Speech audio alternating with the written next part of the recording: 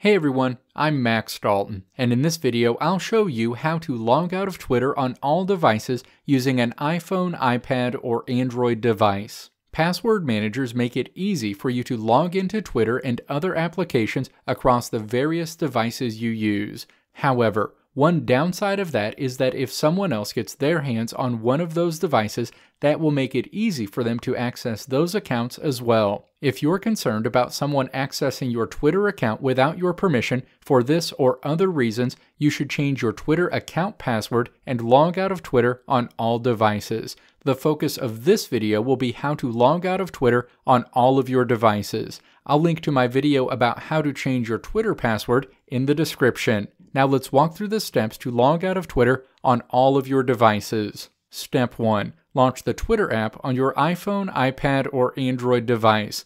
Log into your account if prompted. You'll land on your Twitter home screen. Step 2. Tap your Twitter profile icon in the upper left corner of your home screen. A menu appears. Step 3. Scroll down the menu and then tap Settings and Privacy the Settings and Privacy screen is displayed. Step 4. Tap Account in the menu that appears on the screen. The Account screen appears. Step 5. Scroll down to the Data and Permissions section, and then tap Apps and Sessions. The Apps and Sessions screen is displayed. Step 6. Scroll down to the Sessions section. You'll see your active session associated with your current device displayed on the top part of this section, and all other active Twitter sessions that you'll be actively logged out of listed toward the bottom of this section. Step 7. Tap Log out of all other sessions. A dialog box appears asking if you want to end your other Twitter sessions. Tap Log out in the dialog box. You'll be returned to the Session section,